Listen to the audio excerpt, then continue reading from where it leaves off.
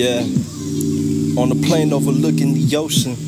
Lately, I'm just trying to live in the moment. Certain people I needed just couldn't stick around. If they ain't see the vision, I bet they feel it now. See, the difference with me is I ain't afraid of believing.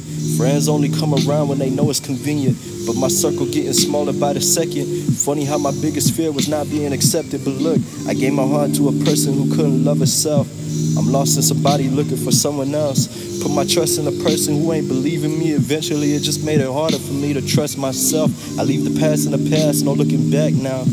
But I ain't complacent with where I'm at now. So in hopes with somebody else that relates to me, I take another sip of this Henny and write these raps down. Anxiety's killing me, I've been losing touch.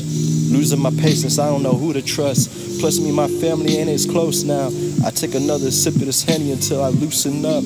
I just need someone that's down for me. Someone just tell me they proud of me. Somebody who's really around for me. If they ever see me sick and they swim and they drown for me. The ones hitting my line used to duck me when I called.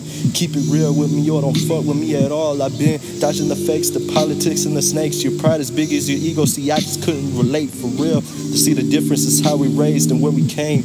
And the bullet that flew three inches from my brain. And the fact that my soul is different than yours, no matter how many times they compare us, man, we are not the same.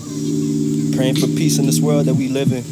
At the same time, I just pray I'm forgiven. They say I'm weak because I put it all in the open. Had to swallow my pride and bottle up my emotions. Look, I left the past in the past, no looking back now.